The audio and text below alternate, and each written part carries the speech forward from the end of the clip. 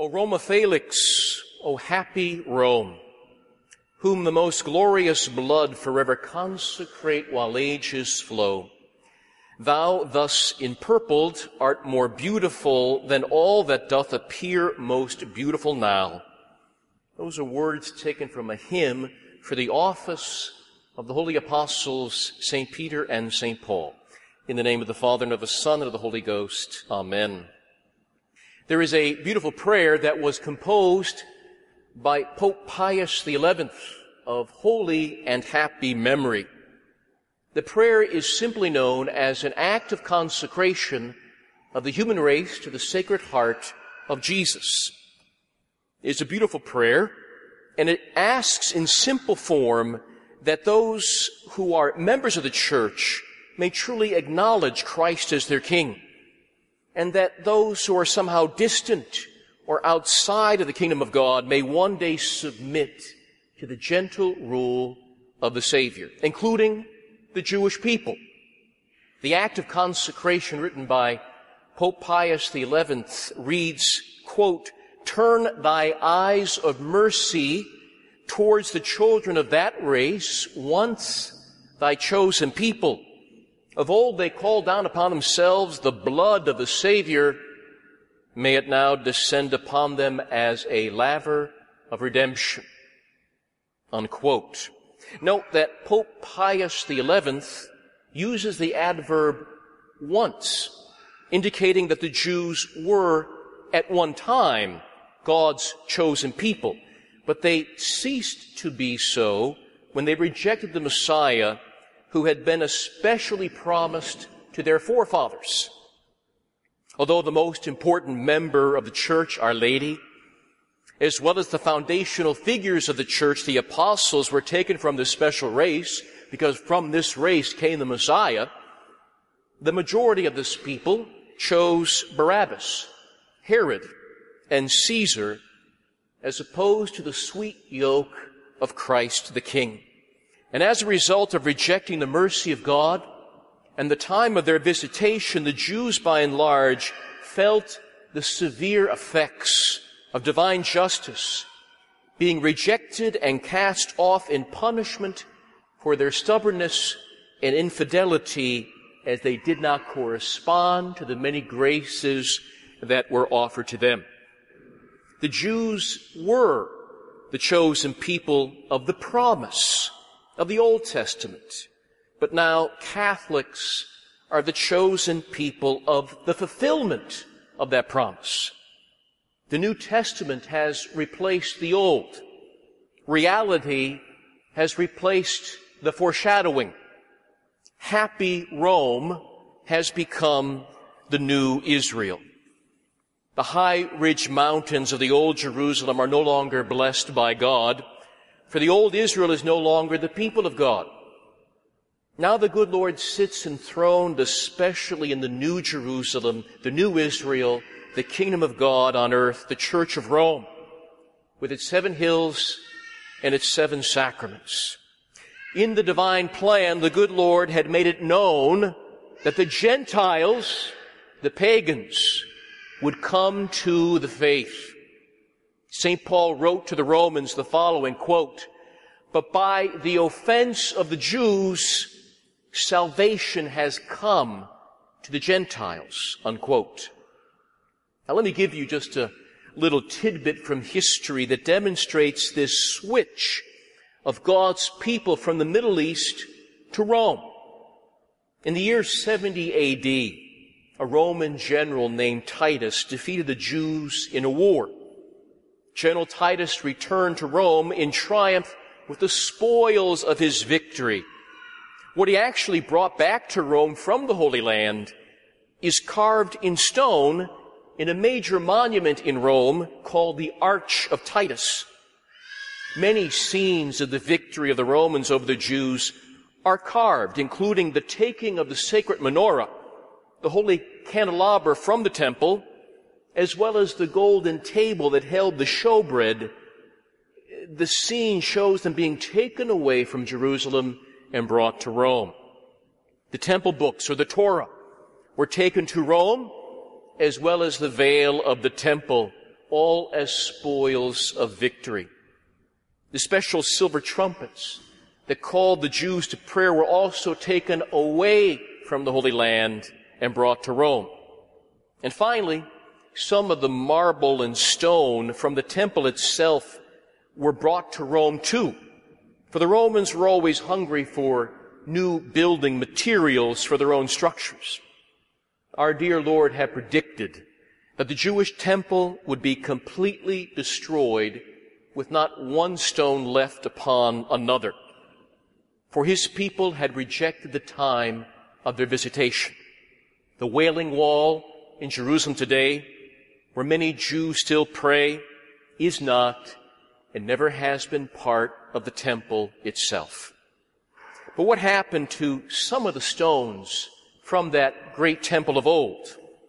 Well, archaeologists have determined that at least some of these stones were used to build a structure in Rome, a structure we call the Colosseum in the Eternal City. Yes, at one time the temple had been a place where sheep and bulls were sacrificed, but now some of these same stones were used to build an arena where early Catholic martyrs will be sacrificed. But as we know, the victory of Titus and the pagans of Rome was short-lived. A huge strategic error had been committed, for it would lead to the downfall of pagan Rome and the rise of Catholic Rome. All those great legions that struck fear into the inhabitants of the Mediterranean world and beyond were no match for Almighty God and His spiritual warriors who were the remnant of Israel. You see, soon a man of Jewish descent named Simon Bar Jonah would come to the eternal city. Yes, a man who would receive the name of Peter from the lips of Christ himself as well as the keys to the kingdom, would come with other followers of the way, including St. Paul, to convert Rome and eventually the entire empire to the Catholic faith. Consider that whenever Peter is charged by our dear Lord with being the chief shepherd of the flock, it always happens near Roman locations. When Christ Jesus, for example, called Peter the rock upon which I will build my church, it was near the city of Caesarea Philippi, a Roman city in the Holy Land bearing the emperor's title. Also our Savior charged Peter to feed the sheep three times at a place called Lake Tiberias, named after the Roman emperor of that time the Son of God and Son of Mary had already planned from all eternity to conquer Rome all along. The generals who led the way of this conquering of Rome, the pillars of the faith, the foundational stones of Holy Mother Church were Saints Peter and Paul. St. Peter would die being crucified upside down. For if Jerusalem would have its Calvary, its Golgotha, so too Rome would have its own Calvary at Nero's circus on Vatican Hill. And here, Peter's body would be buried, and upon these holy relics would be built the great basilica that bears his name. Thus, ever greater meaning would be given to those sacred words. You are Peter, and upon this rock I will literally build my church. As for Paul, well, being a Roman citizen, he received a more dignified martyrdom of being beheaded. Since he had preached about the sword of truth, it was only appropriate that he would die by a sword. O Roma Felix, O happy Rome. This is Rome's great feast day. From the center of the Gentile world, from being the city of man, a pagan city, a Babylon that drank in the blood of the saints, Rome became the city of God and the New Jerusalem. Today of all days, let us remind ourselves all the more of our tie to Rome, that all Catholics must be Roman, In that creed, that holy creed, which we will sing in just a few moments, you will note that the ancient chant will emphasize that phrase, et unam sanctam catholicam et apostolicam ecclesiam. You know, at one time the Church of Rome rarely, if ever, said the creed at Holy Mass. When the Pope was asked, why don't you say the creed that much? He responded that since the Church of Rome had never fallen into heresy, as did the East, she did not need to recite the creed. But now, we must know that we could easily and properly add an additional mark or a characteristic of the true church to the creed. Namely, one, holy, Catholic, apostolic, and Roman. Yes, Roman church. St. Maximus the Confessor, though Greek in regards to his language and culture, clearly said, but I am Roman in faith. This should be our claim as well. We may be American in food, in politics, in sports, in culture, but we ought to be Roman in faith.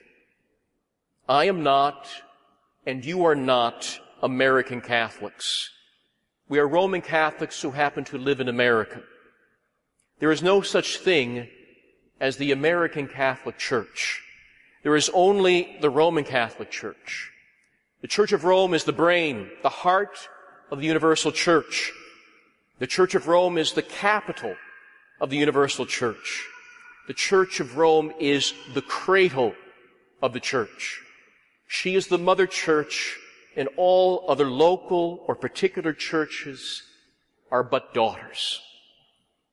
In the early church, the great Arian heresy, which denied the divinity of Christ, gained many adherents.